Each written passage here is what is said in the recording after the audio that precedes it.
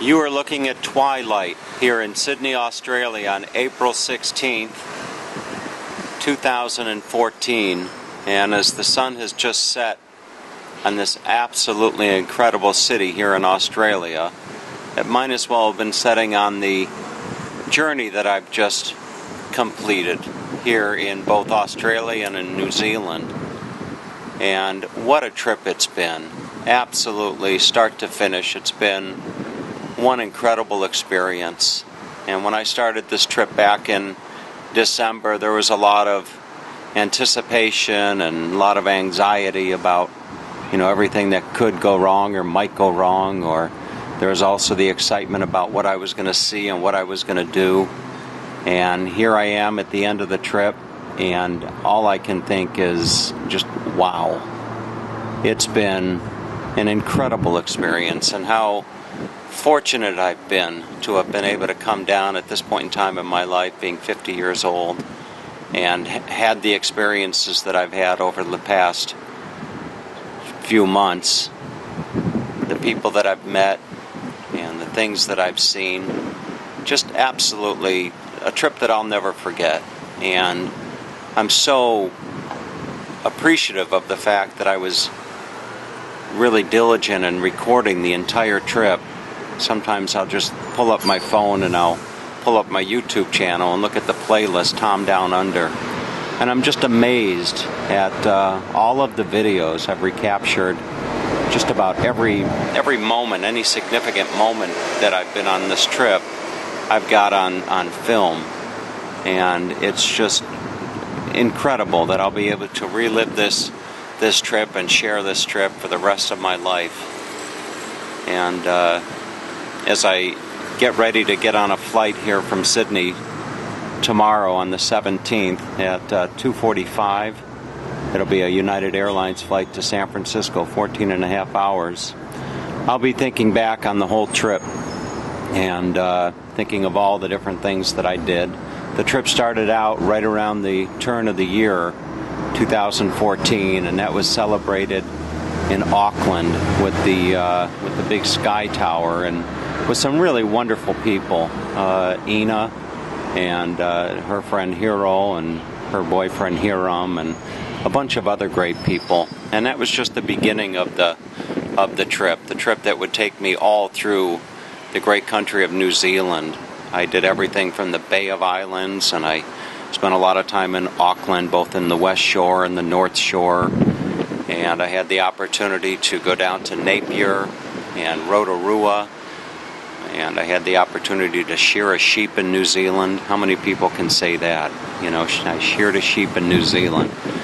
And uh, Queenstown, the Fergburger, that was uh, an incredible experience. Dunedin, the world's steepest street and going out and seeing the uh, what was that the Osprey Reserve I believe it was out there in in that part of New Zealand down there in Dunedin.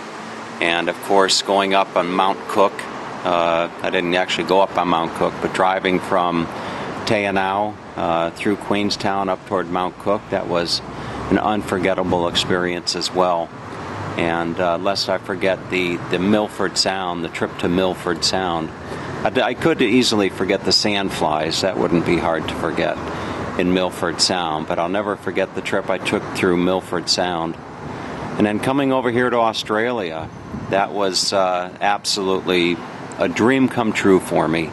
Melbourne, I got to meet a wonderful woman named Nina, who I will never forget. Just absolutely a, a, a great gal. I enjoyed every moment that I spent with her. And then there was the, the week I spent in, in Fitzroy where I got naked with Satan, or naked for Satan, I should say, at the restaurant there in Fitzroy. And Melbourne, the, t- the tan track, you know, the, the botanic gardens in Melbourne. And how could I ever forget the Great Ocean Road? What a trip that was. Kind of a last minute spontaneous decision to do the Great Ocean Road and just outside of Melbourne. That was absolutely incredible. One of the greatest drives I've ever taken in my life. And then it was up to Queensland where I actually dove the Great Barrier Reef. Yeah, let me repeat that. I dove the Great Barrier Reef.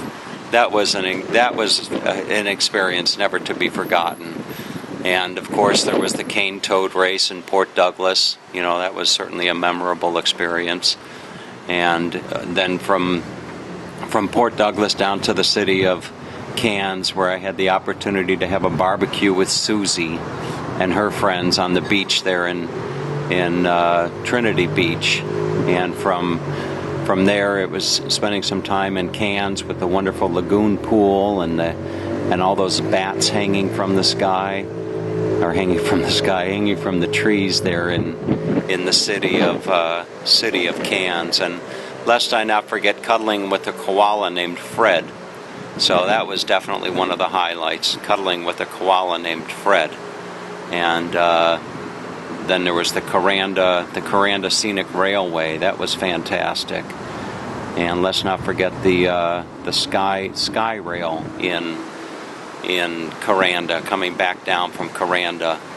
And there was Woody, Woody playing his dingaree doo or whatever you want to call it. And then, uh, certainly, certainly not least, but last, has been this incredible city here, Sydney, Australia. If I had another life to live, definitely I would put this right at the top of my list. Sydney, Australia is an exceptional city. The city itself is, is fantastic. It's got all the hustle and bustle of a big city as you might expect. The people here are very friendly and the surrounding area, the beaches north and south, are just breathtaking, just just absolutely incredible. Bondi Beach, and having the opportunity to meet TJ and Amber, and uh, and then going up to uh, and going up to um, the uh, Manly Beach, that was also incredible, and then the visit or the climb, I should say, to the international symbol, to the top of the international symbol of Australia, the Harbour Bridge. That was also an experience that I will never ever forget for the rest of my life.